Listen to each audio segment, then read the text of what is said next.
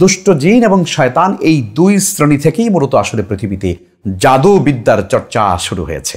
কোনো ব্যক্তি যদি কুফুরি কালাম দিয়ে জাদু করে, ওই জাদুকরের শাস্তি হবে হত্যা করা। আসসালামু আলাইকুম রহমতুল্লাহ বারাকাত আমরা আজকে একটি জীবন ঘনিষ্ঠ গুরুত্বপূর্ণ একটি প্রসঙ্গ নিয়ে আলোচনা করতে চাই। এই বিষয়টি নিয়ে আমাদের অনেক দর্শকরা প্রশ্ন করে থাকেন, জানতে চান। সেটি হচ্ছে জাদু যারা করে জাদুকরদের ব্যাপারে ইসলামী শরীয়তের হুকুমটা কি আসলে? এরা কারা? এদের পরিচয় কি? এদের ব্যাপারে শরীয়তের দৃষ্টিভঙ্গি কেমন?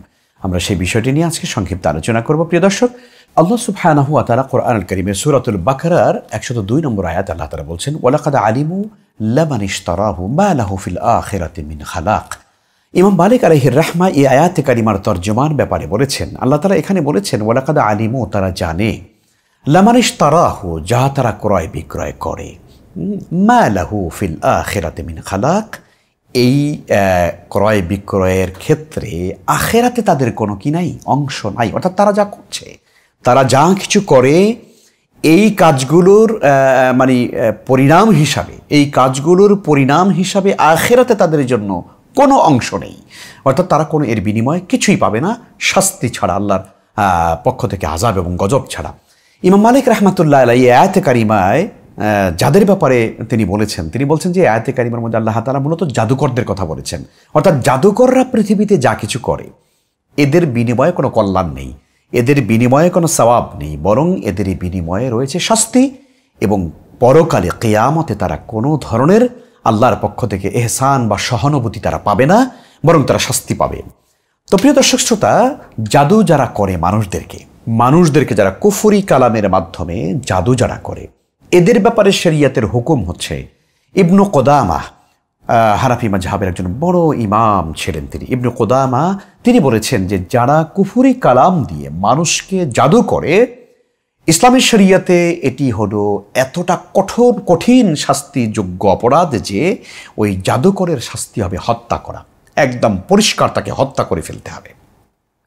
শুধু তাই নয় এটা কবিরা গুণা এটা কুফুরি এটা কবিরা গুণা দেখুন, ইমাম মালিক আলাইহির রাহমা তিনিও ঠিক একই কথা বলেছেন। তিনিও বলেছেন, যারা কুফুরি কালাম করে মানুষদেরকে জাদু করে, মানুষদেরকে ক্ষতি করে, মানুষদেরকে মেরে ফেলার জন্য ষড়যন্ত্র করে কাজগুলো যারা করে, এরা পরিষ্কারভাবে হত্যাযোগ্য শাস্তির অপরাধ তারা করে এবং তাদেরকে হত্যা করে ফেলা হবে।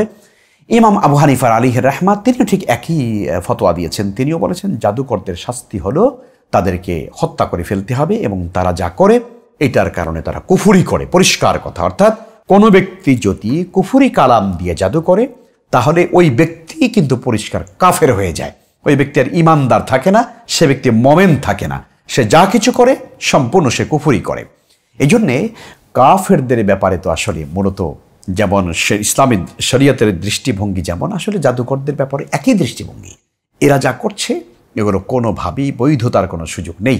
এবারে আসুন, জাদুর আসলে মূল উৎস কোন জায়গা থেকে? কোন জায়গা থেকে মূলত জাদুর উৎস? জাদুর উৎস হলো দুটো জায়গা থেকে, এক হলো শয়তান আর এক হলো দুষ্ট জিন। দুষ্ট জিন এবং শয়তান এই দুই শ্রেণি থেকেই মূলত আসলে পৃথিবীতে জাদু বিদ্যার চর্চা শুরু হয়েছে।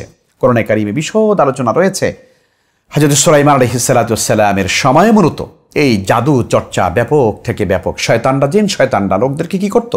তারা মানুষদেরকে জাদু শিক্ষা দিত যাতে করে মানুষ মানুষের ক্ষতি করতে পারে। করোনা কারিমের মধ্যে আল্লাহ তারা বিশদভাবে এই বিষয়ে আলোচনা করেছেন। তো কাজেই জাদুর এই ব্যাপারটা আসছে শয়তান থেকে? জাদুর এই ব্যাপারটা আসে দুষ্ট জিন থেকে। আমরা জিন তো দেখতে পাই না। সুতরাং ওরা কি করে? এই অদৃশ্য এক শক্তি যেহেতু তারা তারা এই বিষয়টা নিয়ে অনেক কাজ করতে পারে, মানুষকে ক্ষতি করতে পারে এবং মানুষের ভেতরে তারা প্রভাব বিস্তার করতে পারে এবং কিছু কিছু মানুষ আছে, এরা আবার দুষ্ট জিনের সহযোগিতা নিয়ে মানুষকে তারা জাদু করে। এই কাজগুলো মূলত যুগে যুগে হয়ে এসেছে। রসুল্লাহ সাল্লাহ আলী ওসাল্লামকে ইহুদি সম্প্রদায় তাকে হত্যা করবার জন্য তাকে জাদু করেছিল আমরা জানি। সেখানেও রসুল সাল্লাহ ইসলাম এই জাদু করবার কারণে, জিন শয়তানের মাধ্যমে জাদু করবার কারণে তারা নবীজি অসুস্থ হয়ে পড়েছিলেন এবং এক পর্যায়ে আল্লাহ রাব্বুল আলমিন জিব্রিলকে পাঠিয়ে রসুল্লাহ সাল্লাহ আলহিউসাল্লামকে কোরআন করিমের দুটো সুরা উপহার দিয়েছিলেন। আমরা জানি সেই সুরাটির দুটো সুরা হলো সুরাতুল ফালাক এবং সুরাতুল নাস। এই দুটো সুরার ভিতরে আয়াতে কারিমার সংখ্যা হলো এগারোটি। এই দুটো সুরার আয়াতের সংখ্যা হলো এগারোটি। আর রসুল সাল্লাহ আসলামকে যে জাদু করা হয়েছিল, সেই জাদুর গ্রন্থির ভিতরে এগারোটা গীত দেওয়া হয়েছিল, এগারোটা গীত দেওয়া হয়েছিল। তো জিবরুল আমিন আলী ইসালাম রসুলের কাছে এসে যখন এই দুটো সুরা যখন তেলাওয়াত করছিলেন, এক একটি আয়াত তেলাওয়াত করার সঙ্গে সঙ্গে এক একটি গিট খুলে গিয়েছিল। সুহান আল্লাহ এবং এই জাদুকৃত জিনিসগুলো কোনো একটি কূপের ভিতরে পাথর চাপা দিয়ে রেখেছিল।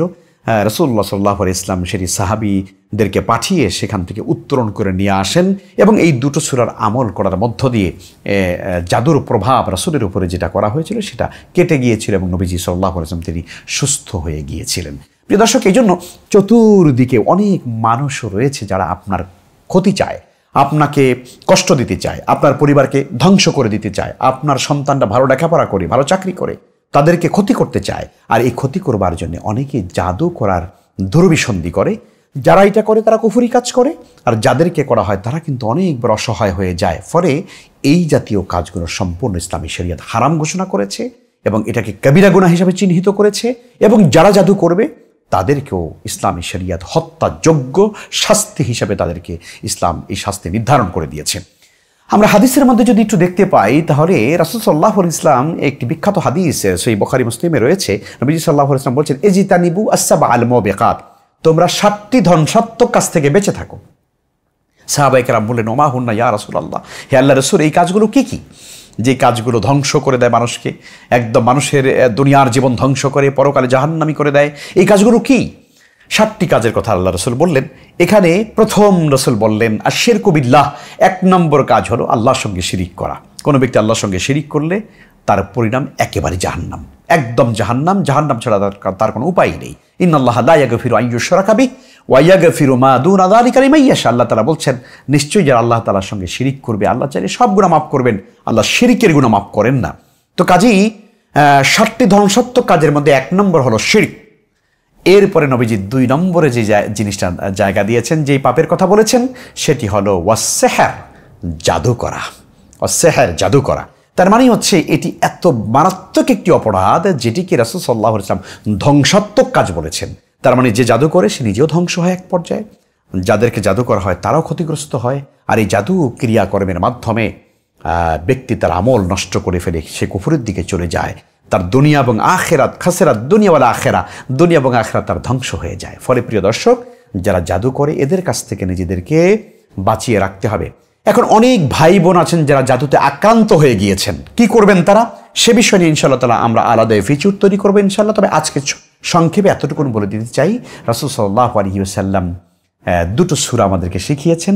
সুরায় ফালাক এবং সুরায় নাচ নিয়মিত ফজর সালাতের পরে মাগরিবের সালাতের পরে অবশ্যই নিজেরা পড়ে তেলাবাত করে নিজেদের শরীরে দম করবেন। রাতের বেলা ঘুমোতে যাওয়ার আগ সময় অজু করে বিছানায় বসে বসে এই দুটো সুরা, আয়াতুল কুরসি, সুরে ফালাক, সুরে নাচ এখলাস দরুদ শরীফ ইত্যাদি পড়ে দুই হাতের মধ্যে ফু দিবেন। রাসুল সাল্লাহ ইসলাম এভাবেই করেছেন। দু হাতের ভিতরে ফু দিয়ে এই দুহাত সমস্ত শরীরের ভিতরে মাসেহে করে দিবেন। রসুল সাল্লাহ ইসলামের এটি ছিল আমল। এভাবে করে ইনশাআল্লাহ তালা যদি আমল করা যায়, আশা করি জাদুর এই কঠিন বিষদর অবস্থা থেকে আল্লাহ তালা আপনাকে আমাকে হেফাজত করবেন। প্রিয় দর্শক শ্রোতা, আসুন জাদু থেকে নিজেরা বেঁচে থাকি, আর যারা এই অন্যায় কাজগুলোর সঙ্গে জড়িত, তারা যেন এগুলো বাদ দিয়ে পরিত্যাগ করে, চিরজীবনের জন্য তাওবা করে, তারা যেন ভালো মানুষ হয়ে যেতে পারি। আল্লাহ তালা আমাদের সবাইকে সেই তৌফিক দান করুন, আমিন। ওয়াখির দাওয়ান আলহামদুলিল্লাহ রবিল আলমিন। আসসালামু আলাইকুম রহমতুল্লাহি ওবরাকাতু